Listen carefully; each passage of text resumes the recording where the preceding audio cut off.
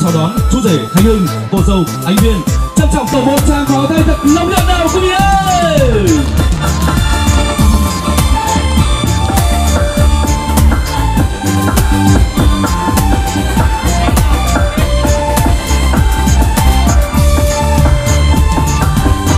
xưa có câu có cây thì mới có dây leo có cột có kèo thì mới có đòn tay có cô dâu và chú rể như ngày hôm nay thì không thể thiếu đại diện hai bên gia đình về phía phái đoàn nhà trai tôi xin trọng giới thiệu lên sân khấu có bố, cà, văn bon, mẹ, cà, thị bánh.